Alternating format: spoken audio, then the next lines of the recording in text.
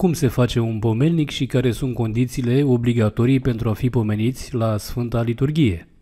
Pentru cei vii se vor pomeni în felul următor.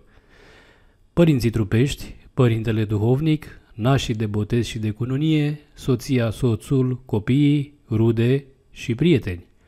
Condiții obligatorii pentru a fi pomeniți la Sfânta Liturghie.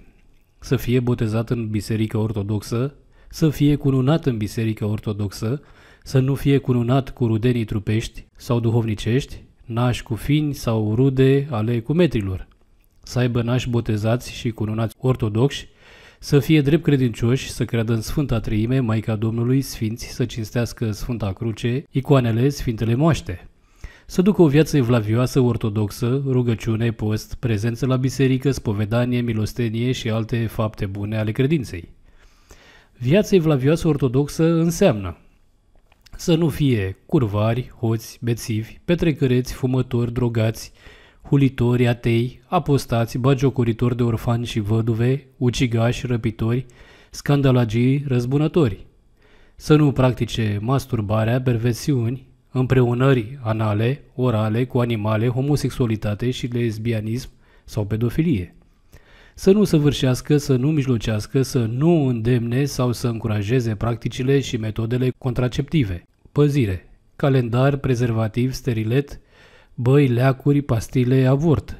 Să nu aibă profesii morale prin care se aduc prejudicii directe sau indirecte bisericii și mântuirii altora, de pildă patron de bar, sex shop, casă de toleranță, regizor, actor, redactor TV, editor de publicații antiortodoxe, eretice, erotice, umanism, evoluționiste, traficanți de droguri, femei sau arme să nu fie fragmasoni, funcționari în organizații, organisme, societăți, fundații, asociații, cluburi și ligii naționale și europene.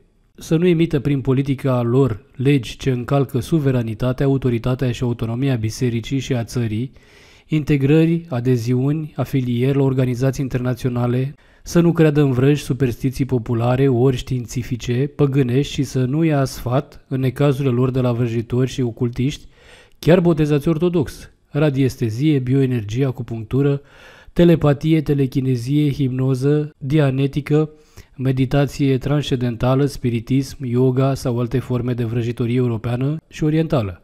Toți aceștia se pot pomeni doar la psaltire și Sfântul Maslu și se pot spovedi.